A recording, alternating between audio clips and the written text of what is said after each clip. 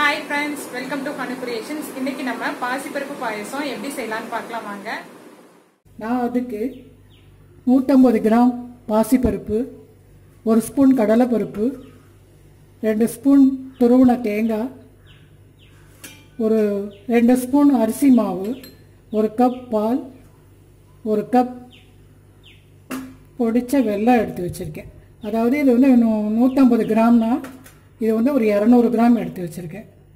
அப்புறம் தாளிக்கிறதுக்காக முந்திரி பருப்பு திராட்சை கொஞ்சமாக ஏலக்காய் பொடி தேவையான அளவு நெய் இது வறுக்கிறதுக்கு தேவையான அளவு நெய் பா பயிர் பாசிப்பயிர் வேகிறதுக்கு தேவையான அளவு தண்ணீர் அவ்வளோதான் இப்போ நம்ம செய்ய ஆரம்பிக்கலாம். நான் அடுப்பில் ஒரு வானொலியை வச்சு கேஸை பத் பற்ற வச்சுருக்கேன். இப்போது இந்த ஒரு டம்ளர் பாசிப்பருப்பை வறுத்துக்கலாம்.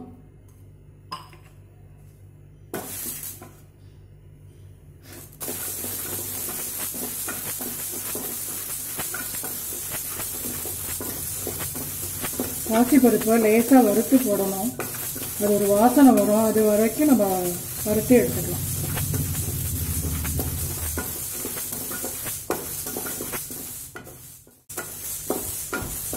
இப்போ பா பாசிப்பயிர் நல்லா வறுபட்டுருச்சு. உடனே எடுத்துக்கலாம்.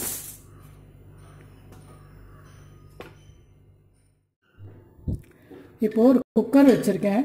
இந்த வறுத்த பாசி பயிர் பருப்பை இதில் சேர்த்துடலாம்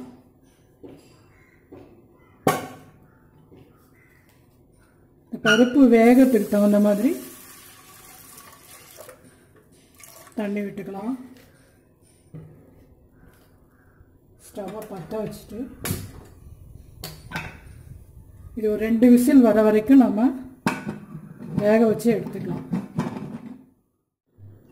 இப்போ பருப்பு வெந்துருச்சான்னு பார்க்கலாம்.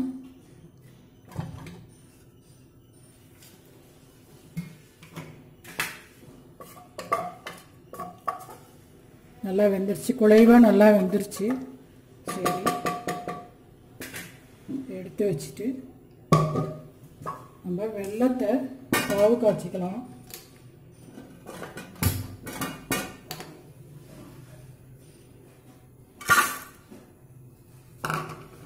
கொஞ்சமாக தண்ணி விட்டுக்கலாம். இது வந்து இதில் கொஞ்சம் இதை சுட வச்சு கரைச்சி எடுத்துக்கலாம். இதில் மண் கல் இருந்துச்சுன்னா வடிகட்டி நம்ம எடுத்துக்கலாம். வடிகட்டி எடுத்துக்கலாம்.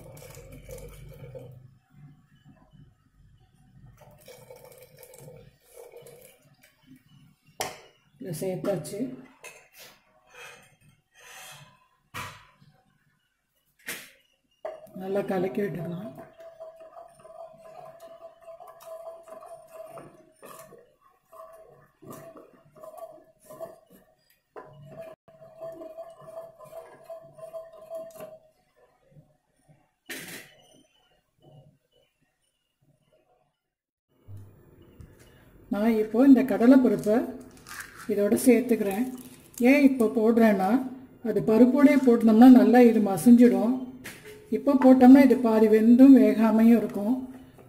பாயசம் குடிக்கும் பொழுது அது கொஞ்சம் நல்லா இருக்கும். அதுக்காக இப்போ சேர்த்துருக்கேன் நான். இப்போ நம்ம இந்த ரெண்டு ஸ்பூன் அரிசி மாவை கரைச்சி வச்சுக்கலாம் ஒரு திக்னஸ்க்காக நம்ம இதை ஊற்ற போகிறோம் அதோட சேர்த்து.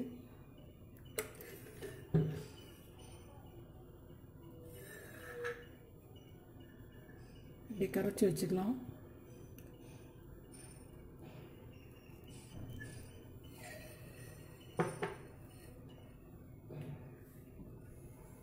இது நல்லா ஹை ஃப்ளேமில் வச்சு பருப்பு கொதிச்சிட்ருக்கு.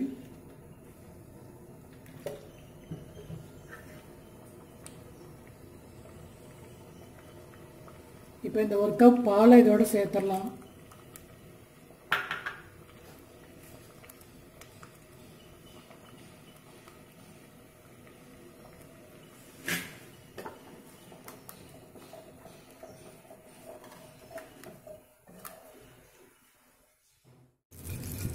நான் இப்போது இதில் ரெண்டு ஸ்பூன் நெய் விட்டு இந்த முந்திரி பருப்பை வறுக்க போகிறேன்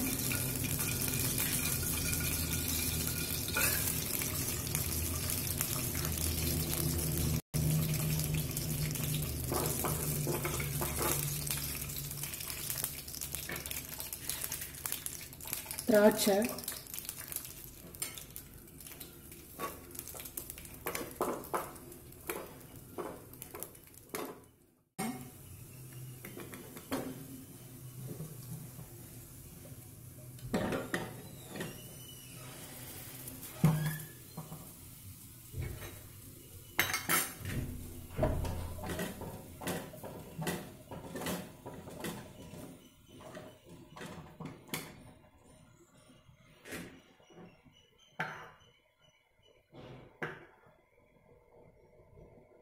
இந்த கரைச்சி வச்ச அரிசி மாவை இதில் சேர்த்துக்கலாம். நல்லா கலக்கி விட்டுக்கலாம். ஏலக்காய் பொடியும் சேர்த்துக்கலாம்.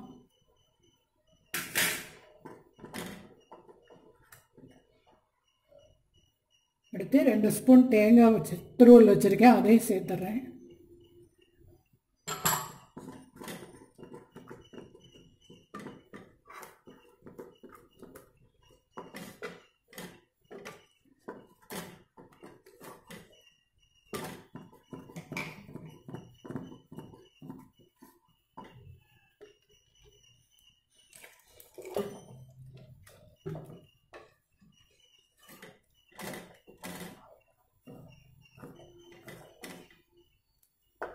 அவ்வளோதான் லேசாக ஒரு கொதி வரட்டும். நம்ம முந்திரி பருப்பு அதில் சேர்த்துட்டு நிறுத்திக்கலாம்.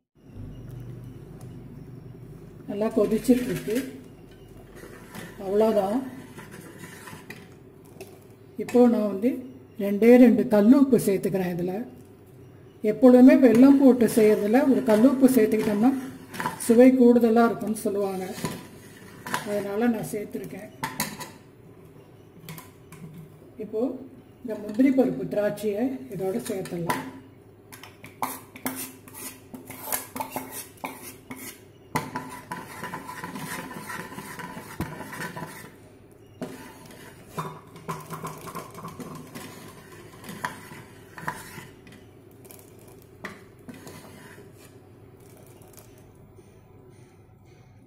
அவ்வளோதான் அது பாசிப்பருப்பு பாயசம் ரெடி ஆகிடுச்சு இந்த வீடியோ உங்களுக்கு பிடிச்சிருந்துச்சுன்னா ஹனுக்ரியேஷன்ஸ்க்கு சப்ஸ்கிரைப் பண்ணுங்கள் தேங்க்யூ